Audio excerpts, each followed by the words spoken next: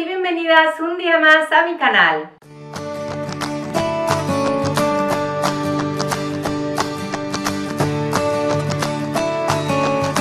Hola chicas, ¿qué tal? ¿Cómo estáis? Bueno, espero que estéis pasando un día estupendo. Yo lo que os traigo en el vídeo de hoy pues eh, son errores eh, que cometemos a la hora de maquillarnos que lo que hacen es echarnos años encima. Eh, lo que intentamos siempre con el maquillaje pues realmente es embellecernos, vernos mucho más guapas y a veces cometemos ciertos errores que nos hacen ver más mayores, nos echan años de más y no nos vemos tan favorecidas. Así que nada, si quieres saber cuáles son esos errores para no volver a cometerlos más, quédate mirando el vídeo que Comenzamos. Bueno, pues vamos con el primer error que se suele cometer a la hora de maquillarse y es que no se prepara la piel. La piel hay que prepararla siempre antes de comenzar a maquillar y cuando me refiero a prepararla me refiero sobre todo a hidratarla.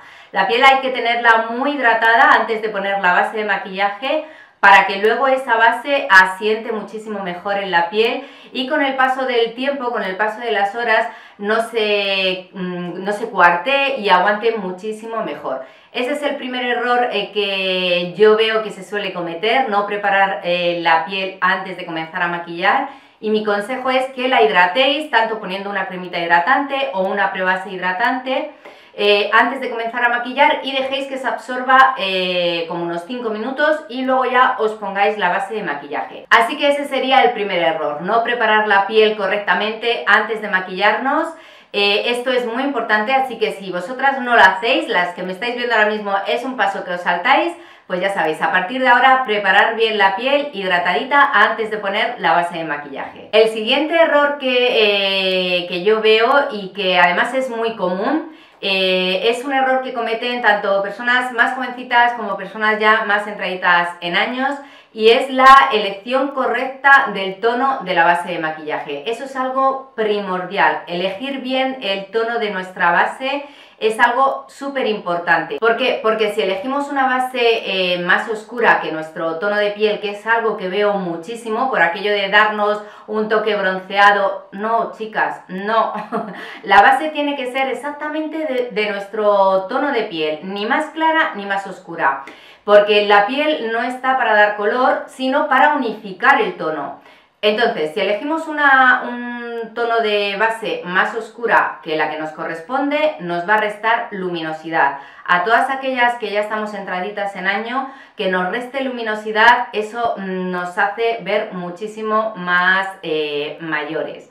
Y por el contrario, si elegimos una base demasiado clarita, pues nos va a dar un aspecto como mm, deslavado, como muy pálido, como que estamos eh, un aspecto enfermizo.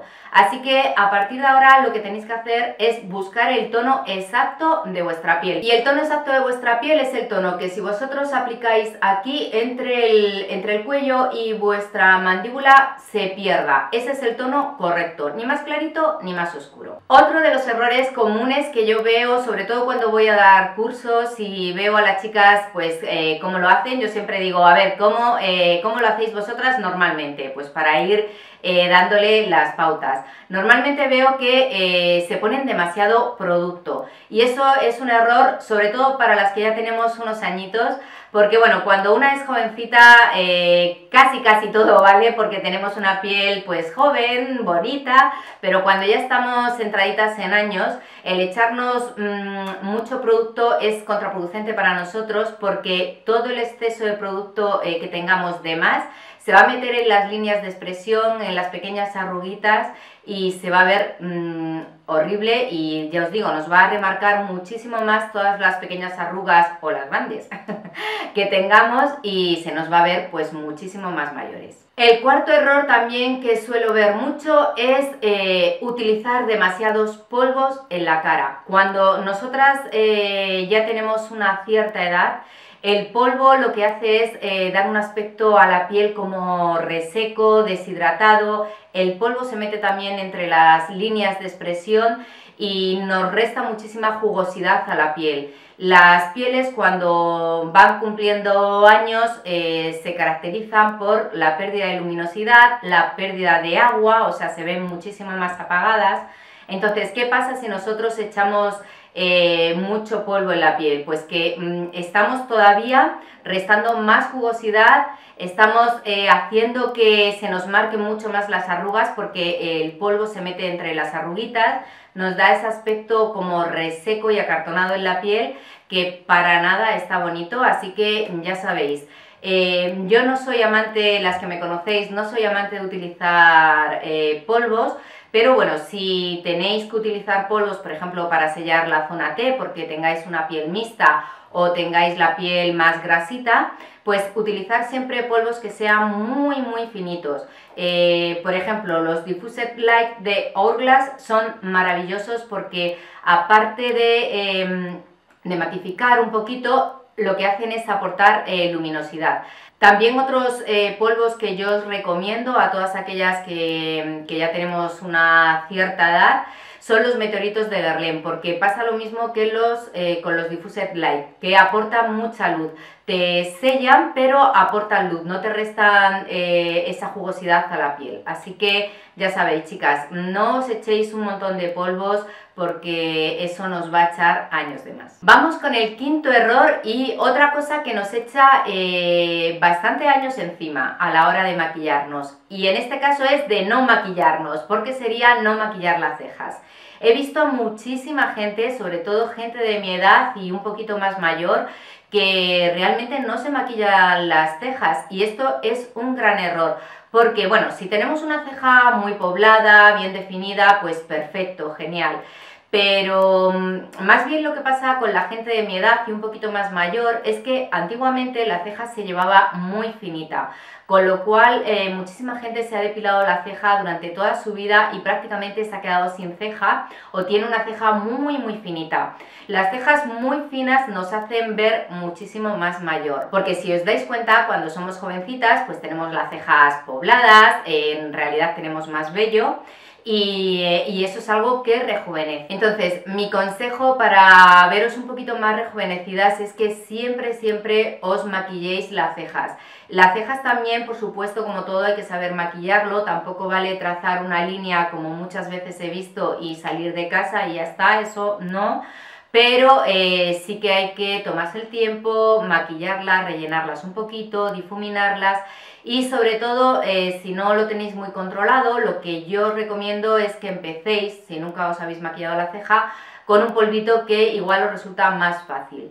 Eh, también es importante que sepáis que las cejas, aunque tengamos el cabello oscuro, nunca, nunca vamos a utilizar un tono negro para maquillarla porque eso nos endurece muchísimo las facciones y por el contrario estaríamos echando eh, años de más.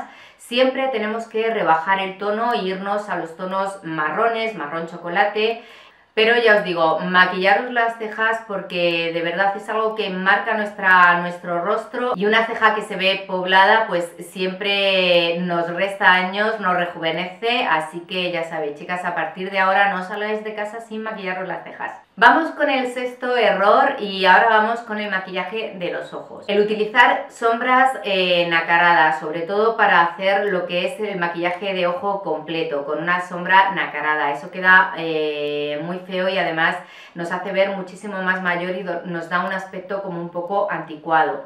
El utilizar un eyeliner súper marcado cuando ya tenemos un párpado eh, maduro, un párpado con arruguitas, pues realmente también nos hace ver muchísimo más mayor porque nos remarca todas las arruguitas del párpado. Y el hacernos ahumados súper dramáticos, esto nos va a echar años de encima en vez de restarnos y embellecernos, que es de lo que se trata. A ver, las sombras nacaradas, últimamente las sombras eh, con brillo están súper de moda y a mí me gustan, pero no podemos eh, darnos una sombra nacarada mm, por todo el ojo, eh, por ejemplo una sombra azulita por todo el ojo, que eso es muy típico, mm, eso queda horrible. Pero sí podemos utilizar, por ejemplo, una sombra con brillo, pues para dar un puntito de luz en el centro del párpado móvil o iluminar un poquito el lagrimal. Ahí sí podemos utilizarlas, pero cuando digo sombras nacaradas es que no utilicemos sombras nacaradas en todo el párpado. ¿Por qué? porque normalmente el párpado maduro pues tiene ya muchos plieguecitos, es un párpado que ya se va eh, cayendo, entonces el, brillo nos va a hacer todavía resaltar muchísimo más eh, todos esos pliegues y no se va a ver para nada bonito. Luego, el utilizar eyeliner demasiado gordos o demasiado definidos, lo que eh, entendemos por un cat eye. Si tenéis un párpado maduro, pero un párpado todavía liso, eh, pues podéis utilizar un cat eye perfectamente. Pero si, como os digo, ya tenéis un párpado eh, arrugadito, pues mejor hacer un delineado difuminado que se ve muchísimo más elegante. Vamos con el séptimo error y aquí es el labial. Utilizar labiales demasiado oscuros, eh, muy dramáticos como berenjenas súper oscuros o estos labiales que han estado tan de moda últimamente que eran casi bumpy pues realmente nos hacen ver muchísimo más mayores. Eh, es muchísimo mejor optar por labiales eh, que nos den luz, que nos aporten luminosidad, porque es lo que se trata, ¿no? Cuando una se hace mayor va perdiendo eso, va perdiendo la jugosidad, la, la, luminosidad, la naturalidad de la piel. Entonces siempre lo que tenemos que buscar con nuestro maquillaje es eso, es la naturalidad y para eso vamos a huir de todos esos tonos eh, oscuros en los labios que nos van a hacer muchísimo más mayores. Otro de los errores que cometemos a la hora de maquillar los labios es no utilizar un perfilador. Esto es un error que he visto, bueno, se repite muchísimo y no sabéis eh, lo importante que es utilizar un perfilador. Cuando vamos cumpliendo años, el código de barras eh, se va acentuando y cuando utilizamos un labial sin perfilador, el labial tiende siempre a correrse. Se va a meter entre las arruguitas del labio y eso nos echa eh, años encima porque nos hace ver muchísimo más mayores de lo que realmente eh, somos. Cuando vemos a una, a una señora con un labial corrido entre los labios es que realmente queda espantoso y eso se arregla simplemente utilizando el perfilador. Ahora, eso sí, también he visto gente que se perfila los labios de un tono más oscuro que el labial. Esto es otro error porque por el contrario eso también nos va a echar años de más porque estamos poniendo un tono muy oscuro aparte de que es algo que se ve mm, como muy antiguo, ¿no? Entonces el perfilador siempre tiene que ir del mismo tono que el labial o lo más parecido posible. Pero por favor, siempre perfilad los labios que va a quedar el labio muchísimo más bonito. Vamos ahora con el número 8 de los errores y aquí vamos a hablar del colorete. Es muy importante saber dónde tenemos que aplicarnos el colorete. Porque si lo aplicamos muy abajo, esto nos va a dar un aspecto de pómulo caído que nos va a echar años de más. Por el contrario, el colorete hay que ponerlo siempre por encima del bronceador, lo que es en el pómulo, y no lo vamos a poner de forma redondeada sobre las manzanitas, que eso se oye mucho ahí sobre las manzanitas, sino que las que ya tenemos unos añitos es muchísimo más conveniente poner el colorete eh, a lo largo del pómulo y hacia la sien porque esto nos va a hacer como un efecto lifting y nos va a levantar el pómulo que es de lo que se trata. Otro error también con el colorete es no utilizar colorete, que también es algo que he visto mucho. Mm, realmente el colorete nos aporta vida, así que es importante, nos va a dar esa frescura, ese buen tono en, el rostro y es importante que utilicemos el colorete porque si no lo hacemos eh, no nos vamos a ver con esa frescura que tenemos en las mejillas y eso también nos va a restar eh, años. Solamente aplicarnos el polvo de sol o utilizar un colorete como muy marrón, muy terracota, porque no nos va a dar ese eh, aspecto fresco que es lo que eh, buscamos a la hora de maquillarnos para vernos un poquito más jóvenes. El noveno error. Bueno, aquí eh, vamos a hablar de corrector e iluminador. Y es que este es un error que también he visto muchísimo y en realidad mm, no es que nos sume años, sino que es un error común que he visto, ya os digo, hasta la saciedad. Y es eh, eso, confundir un corrector con un iluminador. Sobre todo hay un producto que lo he visto utilizar muchísimo a modo de corrector de ojeras, que es eh, Le Ten Touche Club de Yves Laurent, que es un producto maravilloso, pero que en realidad eso es un iluminador, no es un corrector para corregir ojeras.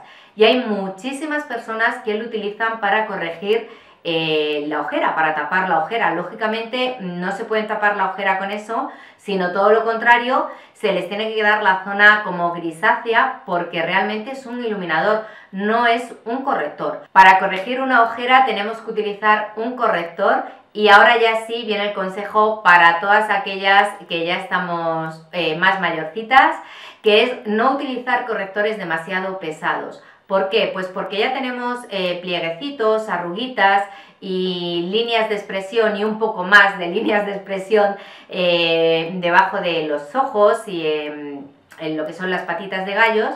Y si utilizamos correctores muy pesados, por aquello de que como es pesado va a tapar más, pues no, no va a tapar más y si utilizamos correctores muy pesados lo que vamos a conseguir es aumentar esas arruguitas que tenemos, que se vean muchísimo más y eso nos va a aportar eh, años de más. Utilizar correctores demasiado claros eh, en la zona de la ojera para iluminar también es un error y es un error también muy común. El corrector realmente mm, está bien que lo utilicemos un tono por debajo de, nuestra, de nuestro tono, como mucho dos, porque sí es cierto que en esta zona la luminosidad es importante, pero no podemos ponernos como si fuéramos mapaches. Eso se ve horrible, se ve antinatural y realmente mm, se ve un efecto máscara muy feo. Es un error muy común también y, y ya os digo, olvidaros de poneros eh, correctores muy claros para, la zona de la ojera porque ni tapa la ojera ni queda bonita la iluminación y por el contrario se ve como si llevarais un antifaz. Y vamos ya con el último error, el número 10, y es no desmaquillarse cuando una se va a la cama. Esto es un error, mm, vamos, gravísimo. Hay que desmaquillarse siempre, siempre, siempre, siempre para irte a la cama, por muy tarde que sea, por mucha pereza que te dé. Es muy importante irte a la camita con la piel limpia para que pueda respirar, para que pueda hacer bien ese proceso de regeneración de tu piel durante la noche y que a la mañana siguiente te veas pues divina. Así que eh, nunca os vayáis a la cama sin desmaquillaros, chicas. Esto más que un error es un tip que os doy. Y nada más, amores, hasta aquí el vídeo de hoy. Espero que hayáis aprendido alguna cosita nueva y nada más, que os quiero muchísimo. Me despido con millones de besos y nos vemos el viernes con un nuevo vídeo. ¡Chao!